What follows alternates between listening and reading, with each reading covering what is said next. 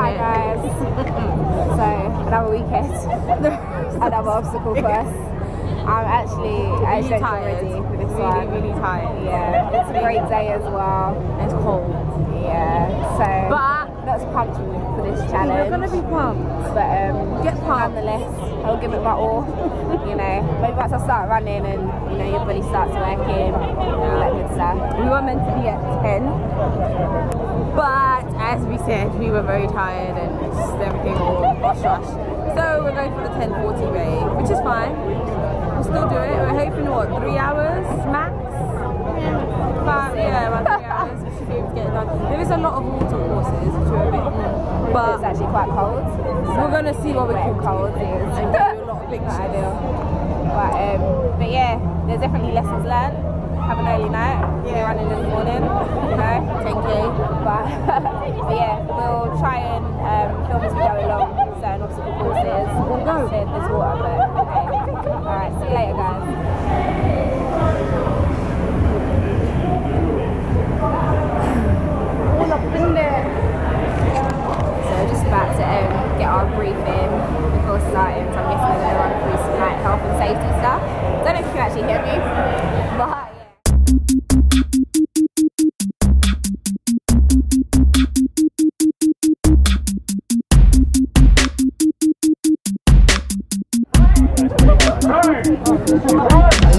Música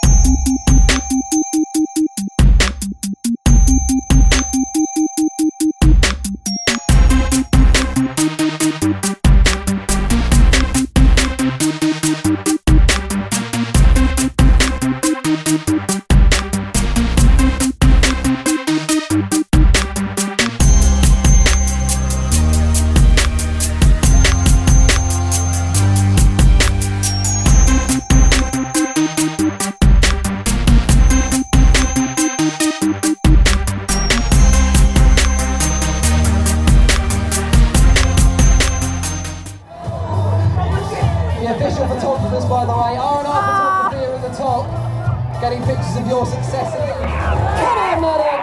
Come on, madam! Yay! Fantastic, well done. Nice, come on. Yes, very good. She's there. Well done. Screaming all to the top. What some grand party today. Turn there.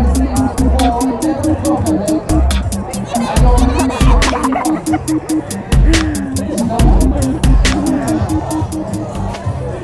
did it. We did. I don't know what time it is. No. I don't know what time it is. Come on, man. She's up. She's in. 135. 130. Wait, 11? yeah, like three hours. I think So we did it in about 13. three hours. Yeah! said three hours, yeah. And it was a lot. Yeah, but I think that it better because um, obstacles. Because we had break. yeah, you have so much running.